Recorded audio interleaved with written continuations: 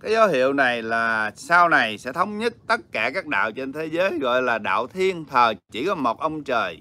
Người hồi giáo cũng thờ ông trời. Hiện giờ người à, công giáo cũng đang thờ ông trời tức là chúa cha. Còn người phật giáo thì chưa biết ông trời.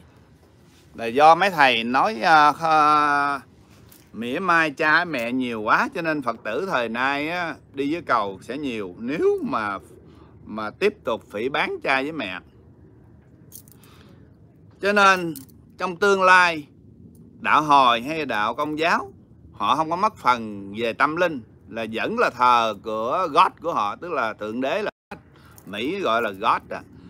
về phần học vấn họ sẽ lên lên lớp giống như từ lớp uh, trung học lên đại học là về cái uh, bên hồi giáo và bên công giáo và tất cả những đạo khác trừ đạo Phật và Ấn Độ giáo thì họ biết cái linh hồn chuyển thế từ thân này qua thân khác của mỗi một đời người.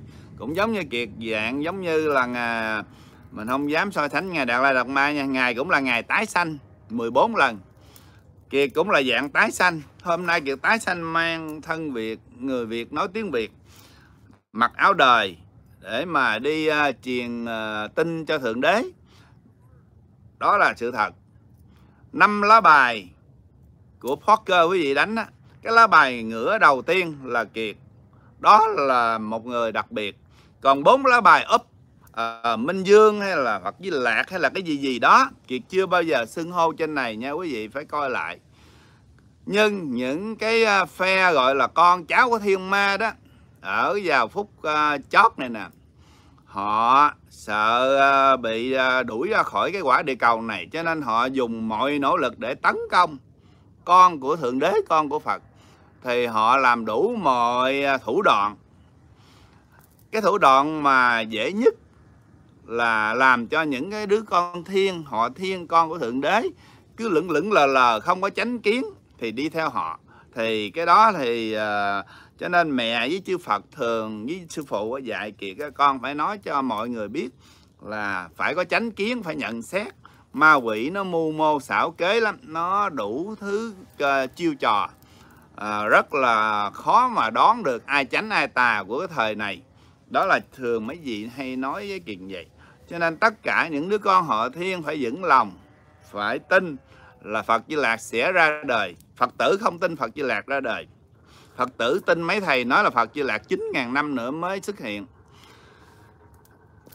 bên công giáo những con chiên không tin Chúa tái lâm bằng uh, người Việt và đồng thời dạy đạo Phật.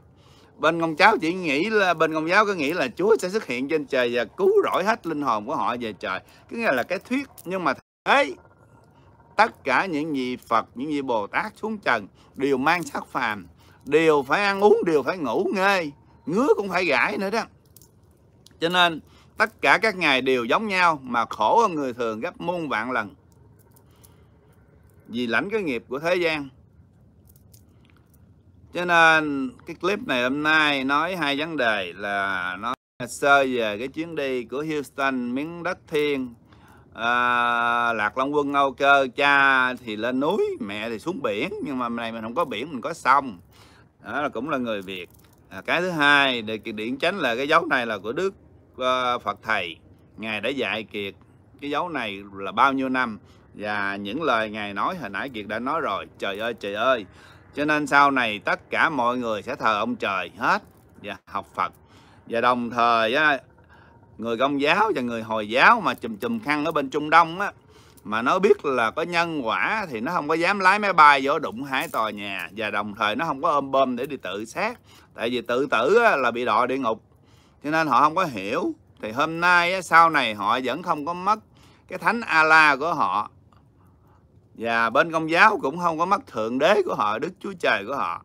Nhưng mà họ được lên cấp là vì họ học theo à, tất cả những kinh điển à, kinh điển của tam đại à, tạng kinh, tức là đại thừa của mình và tiểu thừa. Để mà họ ngồi thiền, họ có thể store những cái bản năng mà thiên tính của mình là vì thiên ma nó che mắt che mũi để cho mình không còn thiên nhãn thông và thiên nhĩ thông để họ nói gạt nói láo và để mà nhồi sọ tất cả những người trên quả địa cầu này cha mẹ không có muốn sau này thời thượng quân thánh đức và thời vàng kim Phật Di Lạc xuất hiện con người của mình á, vừa giàu có vừa có thần thông và vừa tiếp xúc được với UFO, UFO đi ra ngoài không gian đó là những cái uh, mà kiệt chủ yếu chuyện nói trên cái kênh này trong mấy năm nay. Con người mình sẽ không còn khổ như ngay bây giờ nữa. 7 tỷ người đang sống rất là khổ rồi bị covid nữa. Sau này sẽ không còn hết hết tất cả hết nạn khổ chỉ có cái sướng thôi sướng và học hỏi để về trời. Cho nên kỳ này cha mẹ muốn tất cả nhân loại chúng ta phải trở về và thoát luân hồi sanh tử giữ 12 giới luật của thiên tâm sẽ thoát luân hồi sinh tử. Không có cần 350 giới và 245 giới của à, tỳ kheo và tỳ kheo ni.